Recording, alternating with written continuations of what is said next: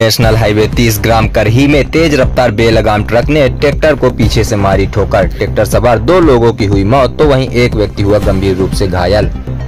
दरअसल अमरपाटन में आज देर शाम भीषण सड़क हादसा हो गया, जिनमें दो लोगों की दर्दनाक मौत हो गई। इस घटना में पुलिस ने पूरी जानकारी देते हुए बताया कि अमरपाटन थाना क्षेत्र के ग्राम करही के पास ट्रैक्टर में पीछे से ट्रक ने ठोकर मार दी, जिससे ट्रैक्टर सवार दो लोगों की मौके पर ही मौत हो गई। मृतक ललन पटेल और राजेंद्र पटेल निवासी खजुरी इटमा बताए जा रहे हैं। दोनों को पुलिस ने सबको पीएम के लिए अमरपाटन सिविल अस्पताल भेजा है। वहीं ट्रक चालक भी ट्रक में फंस गया, जिसको पेट्रोलिंग टीम और पुलिस की मदद से रेस्क्यू कर बाहर निकाला गया और उसकी हालत गंभीर होने की वजह से उसको उपचार के लिए सिविल अस्पताल अमरपाटन लाया गया, जहाँ पर प्राथमिक उपचार देने के बाद डॉक्टर टीम के द्वारा घायल ट्रक चालक को रेफर कर दिया गया।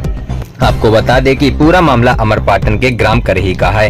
यहाँ पे ये हुआ कि पीछे से ट्रक वाला ने टक्कर मारी जो ट्रैक्टर से हमारे गाँव के लालन पटेल और हमारे छुटकावन भैया, जिसको छुटकावन भैया कहते थे गाँव में, वो आ रहे थे और ट्रक वाले ने ज़बरदस्ती क्या कि ओवर स्पीड होके ट्रक से ठोकर मारी, जिनके कारण दोनों का देहांत हो गया और पूरी गलती, संपूर्ण गलती ट्रक वाले की थी और हाईवे का ये पूरा मामला है हम लोगों को जानकारी जब मिली तो हम लोग आए वहाँ से गाँव से।